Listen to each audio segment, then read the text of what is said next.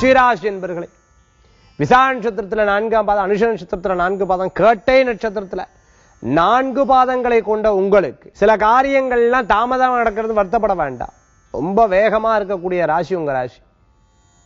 நீங்க எப்பேற்பட்ட தாமதமா இருந்தாலும் அதை ஓவர்டேக் பண்ணிவிடுவேன் எதையும் ஜெயிக்கிறதுக்கு உண்டான யோகங்கள் உண்டு. பழைய வாகனத்தை கொடுத்து புதிய வாகனங்கள் வாங்கிறதுக்குண்டான வாய்ப்புகள் உண்டு.